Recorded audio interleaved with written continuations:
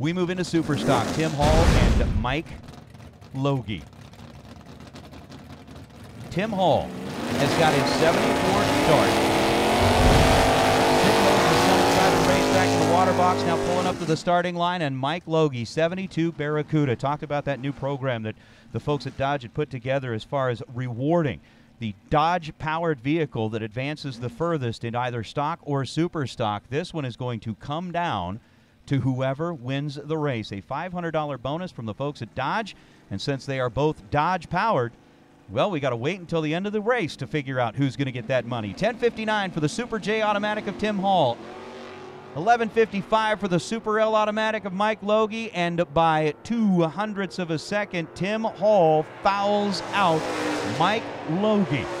Will come down the return road to claim the Wally for the third time. 1154 9 on the 1155. Tim Hall goes 1055 on a 1059, but was red by two hundredths of a second. Everybody, let's welcome Mike Loge, your champion in Superstock this weekend in this gorgeous orange Chrysler. You are three for three career in NHRA national event final rounds. There's not, there's no mistaking that. Talk to me about you just clear your head and put it all out, or what?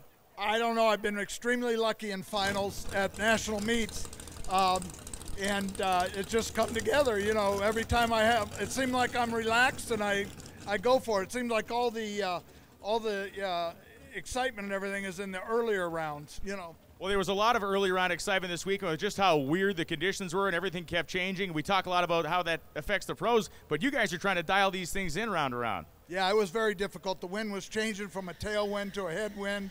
It was very difficult to figure a dial in on these things. But uh, my my kids are here this weekend uh, with me, and they were helping me a lot, and I appreciate all that.